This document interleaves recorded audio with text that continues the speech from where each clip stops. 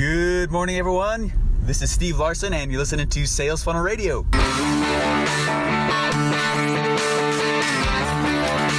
Welcome to Sales Funnel Radio, where you'll learn marketing strategies to grow your online business using today's best internet sales funnels.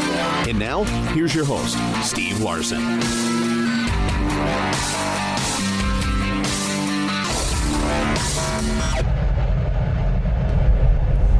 Right, you guys, how's it going? Uh, You know, it's been a little while since I've uh, recorded a podcast. Things have been so busy, so busy. I'm actually driving over to um, our brand new office, and um, we got a really cool event going on. We got most of Russell's inner circle over here, and uh, we're gonna go for the next three days through some cool material to help them launch. Um, I don't know if I'm supposed to talk about it yet. How's that for a cliffhanger? if you guys go to Funnel Hacking Live, you'll find out more about what it is. Um, but you guys are you guys are gonna like it. It's really really cool. So I don't I don't see anyone else doing what what we're doing here. So anyway, hey, it's been a while since I've uh, done a podcast, and again, I, I just want to apologize for that. I always try and and do at least two of them a week. That's my goal, and uh, I always try and do it with an awesome microphone, you know. And, and just like the last one I did, man, guys, I'm in the car again, so sorry about that. I'm obsessed with uh, the sound quality, like I said before, but but uh, whatever. The message today, I think, is kind of cool. Um, uh, I think it was uh, it was only like two weeks ago. So I've been traveling a lot and been going all over the place, and we're switching offices. So I haven't really had a chance to sit down with uh, my microphone and actually do a an actual podcast.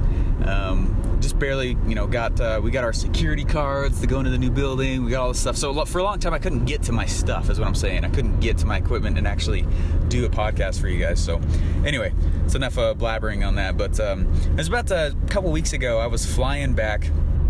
I was in I was in Vegas um, uh, on a trip for Russell, and I don't even know how, like how to talk about this. I I was uh, I was feeling kind of down on myself for you know I'll, I'll, admit I was feeling a little bit down. I was like crap. Like there's all these things I, I want. I, I, wish I had up and running. There's all these things that I, that I wish I had uh, going and and and um, um, you know, I've, I've like six sales funnels right now that are at the 90% level. I just got to spend another couple extra hours on each of them to get them launched. And, and I know a lot of you guys are going to hear that and you'll be surprised by that and go, wait a second, like, this is all you do. Like, yes, but for other people, you know, and I have a lot of my own funnels already running and make great, fantastic money. Um, they're totally on autopilot and I absolutely love it. But, you know, I, I, I guess this is just a, I don't know how to say it. I was feeling down on myself. I was like, oh crap. Like, I just wish that there were these few of the things going. Like, it must be because I have to push harder. It must be because I have to, you know, do this or do that. And I was looking on a lot of external things. And I was walking through the airport thinking about this. And, and that's kind of my nature, to be honest, is I'm, I'm naturally hard on myself. Not in like the bad way, but in the incredibly self-motivating way, you know. Otherwise I wouldn't be where I am, you know. And same with a lot of you guys who listen to this podcast.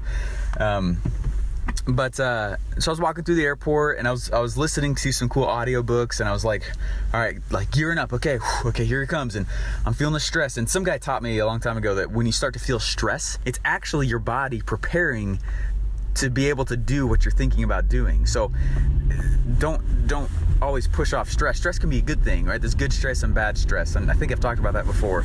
Like welcome the stress, you know, your body's prepping to go handle and take on whatever challenge you're thinking about. And so I was walking through the airport and I was feeling this and I was thinking this and and I was in my own world, man. It was I felt like I was one of those, you know, like the horses with the, the eye blinders on. I was looking right kind of I wasn't looking at the ground, but um I was kind of looking, you know, like right in front of me. I was, I was just pacing. My flight didn't take off for a few more hours. I got there kind of early, and um, and and I uh, uh, kind of came up to the spot where, you know, there was tons of terminals all over the place. Uh, meaning it was, it was, almost like a, the equivalent of a cul-de-sac, you know. there was uh, terminals kind of in this huge ring, and, and the people sitting. It was, it was massive, people everywhere. And I was walking, and all of a sudden, I hear this this thud, the boom, and I hear this sliding sound, and this pair of sunglasses comes flying in front of me, and and they they land and stop about right right in front of me where I am, and it kind of caught me off guard. And I looked down and I looked over at, at the thud, and there was an old gentleman um, who had passed out, uh, laying on his back. Um, in the middle of the terminal, and uh, um, it, it, kind of we a lot of us heard it, and he was like maybe ten feet from me, and. Uh, his wife was standing right there, and she turns around and she notices him, and she goes, I can't remember what she, I can't remember the name, but she was calling his names and are you okay? Are you okay? Hello? Oh my gosh! You know, she starts freaking out, and uh, understandably, and um, I mean, I just kind of walked over to him, and, and, his eyes were were wide open, and he was laying down um, on the floor, and I'm not trying to get gruesome, but I just want you to kind of feel what I felt.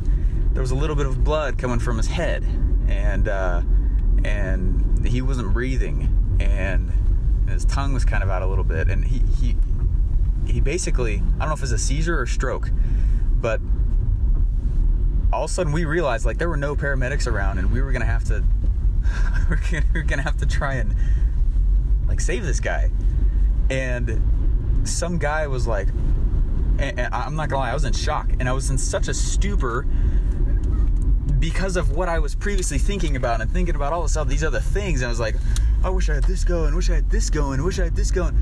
I was in such a stupor that it, it shocked me that that situation was in front of me right there, right then. I was not able to even really react the way that I would be able to. I mean, we, we train for this stuff all the time. I'm in the army. I mean, we we train for that kind of crap all the time, and and this other guy just like snapped right into gear and he went and he got a defibrillator and we were like shocking his heart while he's on the floor and i was yelling at uh, a lady with a radio saying like get people over here and another lady was grabbing him and a, a guy started doing cpr on him and it was really intense and we i mean he, we went probably like five minutes without him actually breathing and also we saw his chest rise just a little bit on his own, and everyone clapped in the whole terminal. We were all cheering and stuff.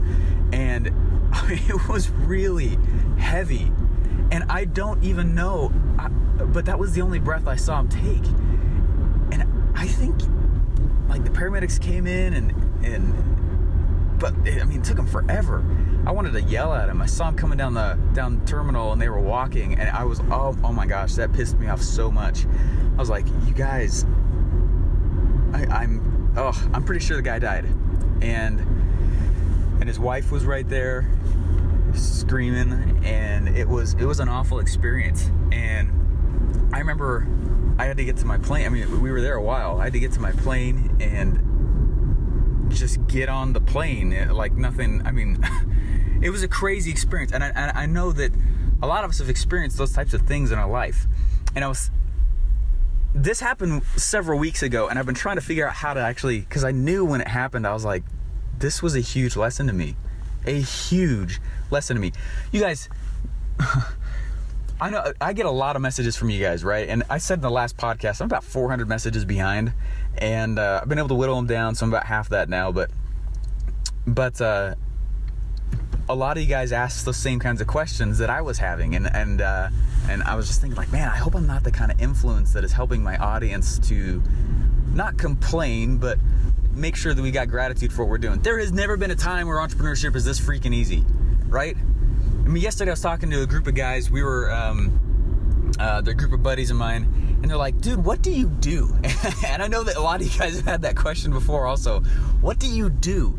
And, and you got to sit there and you got to try and explain what it is. And it's hard to explain what it is. And, and entrepreneurship, the type that we do, can be a little bit lonely because it's such a new thing. Sales funnels themselves are not, but the way that we pull them off, it's very new. A lot of people don't know what it is. A lot of people have no idea. You're like, you got to compare it to stuff. You're like, hey, you know, like Amazon, you go buy stuff. They say, other people have enjoyed this product. Do you want it too? And check the box. It's like, it's kind of like that. Um, right? This is not a, a, a normal facet for entrepreneurship at all. And, um, anyway, such a cool time to be alive and such a cool time to be.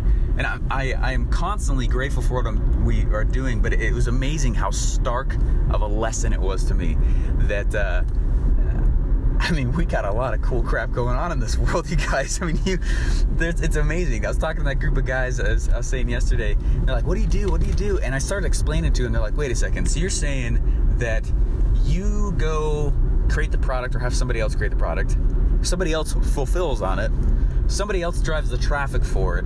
Somebody else, like, you know, you get the point. Somebody else, somebody else, somebody else. And I said, yes, that's the point, you guys. The point is we are living in a time where entrepreneurs do not have to be the ones doing all stuff, especially now that ClickFunnels exists.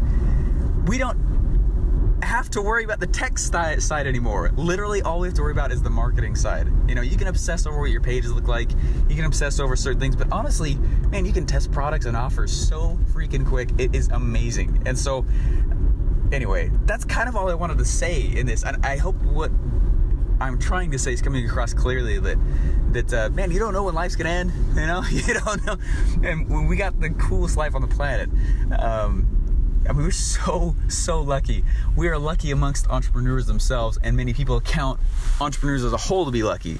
And uh, uh, for us to be doing what we are with ClickFunnels, uh, for what you're doing with your own sales funnel, um, the speed that you can test things, the speeds. I mean, it's oh, absolutely incredible. I just found out. Um, I think from the number it was yes yesterday.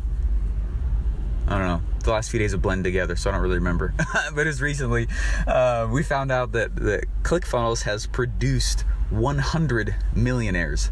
Isn't that crazy?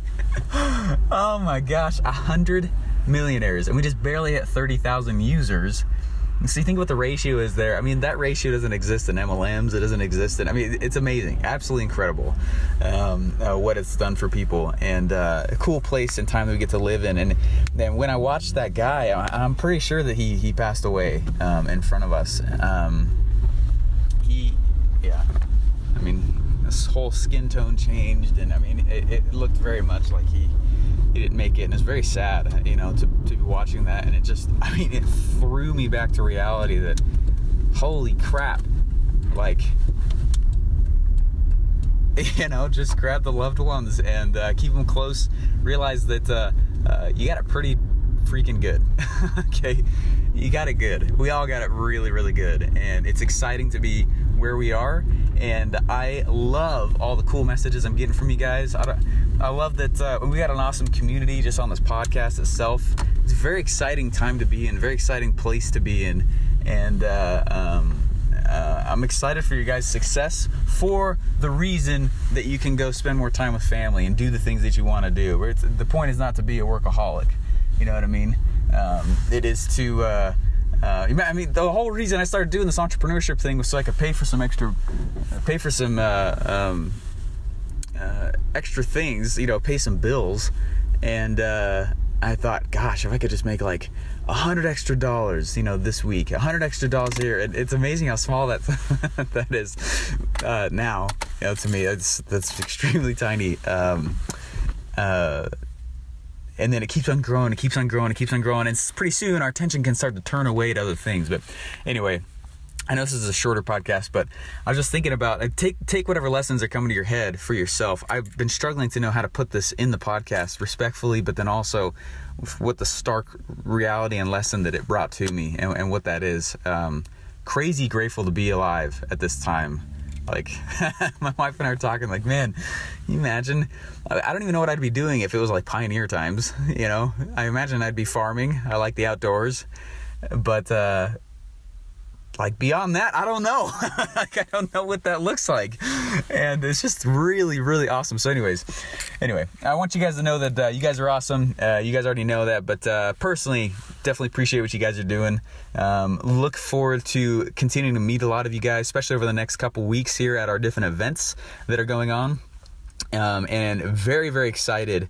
Um, um, to see the successes you guys are having. We've got a lot of cool messages lately where risks are taken, appropriate risk, but then huge rewards uh, that are coming as well. And I want you guys to go do that. Take those risks, that are calculated. um, keep producing cool stuff and pumping value into the world. It's a different kind of mindset for an entrepreneur. Um, the the conference that I was at is very much not about that. It's very much a, a, take, take, take, take, take. This is how you make a ton of money and screw a lot of people. That's what the conference feeling was kind of about. And I was like, man, this is not our culture as a community, and I'm really, really, really grateful. Um, anyway, you guys are awesome, and I'll talk to you later. Bye. Thanks for listening to Sales Funnel Radio. Please remember to subscribe and leave feedback. Want to get one of today's best internet sales funnel for free? Go to salesfunnelbroker.com slash free funnels to download your pre-built sales funnel today.